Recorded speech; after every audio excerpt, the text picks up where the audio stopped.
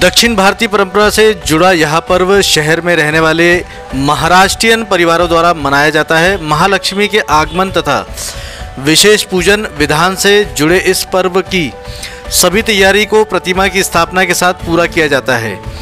वही चंदनगांव निवासी गाड़ के परिवार करीबन 130 वर्षों से महालक्ष्मी की स्थापना लगातार करते आ रहे हैं।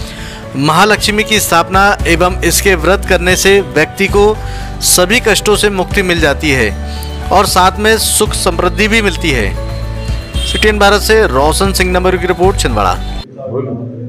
महालक्ष्मी पर्व अनुराधा नक्षत्र में सप्तमी के दिन महालक्ष्मी का आगमन होता है। अष्टमी को महालक्ष्मी की महापूजा होती है और नवमी के दिन विसर्जन होता है। आज दूसरा दिन था जिस दिन महालक्ष्मी की महापूजा की गई इसमें छप्पन प्रकार के भोग इसमें सोलह सब्ज़ियाँ और अन्य कई पदार्थ बनाए जाते हैं। और आज उनको भोग लगा के महालक्ष्मी की महापूजा की जाती है। इस दिन हमारे यहाँ 130 वर्ष से मनाया गया है। इस वर्ष भी मनाया गया। और ये कल विदाई रहेगी? और कल विसर्जन। जी जी। आपका पूरा नाम? मेरा नाम ओमकार घारगे छिंदवाड़ा।